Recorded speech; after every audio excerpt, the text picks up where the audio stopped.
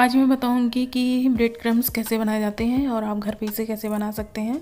तो अक्सर जब भी हम ब्रेड लेके आते हैं तो एक ब्रेड ऊपर की और एक ब्रेड नीचे की अक्सर मोटी होती है, जिन्हें हम खाना पसंद नहीं करते हैं और अक्सर फेंक देते हैं उन्हें। तो इसी ब्रेड से आज मैं ब्रेड क्रम्स बनाऊँगी। तो आपको ले लेना है पहले इस तरह का तवा। आप नॉन स्टिक या लोहे की तवा यूज़ कर सकते हैं और इसे कुरकुरा होने देते हैं पाँच मिनट के लिए। इसमें तेल, घी वगैरह कुछ भी नहीं लगाएँगे, ऐसी धीमी आँच पे। देखिए, आपको आवाज़ आ रही होगी, कितना कुरकुरा है ये। और देखिए कुरकुरा हो चुका है पाँच मिनट के बाद और थोड़ा सा ठंडा कर लेते हैं इसे। इसके बाद हम इसे जार में डाल के अच्छे से महीन पीस लेंगे और ये ब्रेड क्रम्स बन के तैयार है। आप इसे 10 से 15 दिन तक स्टोर करके रख सकते हैं। तो वीडियो पसंद आया तो प्लीज़ लाइक एंड सब्सक्राइब।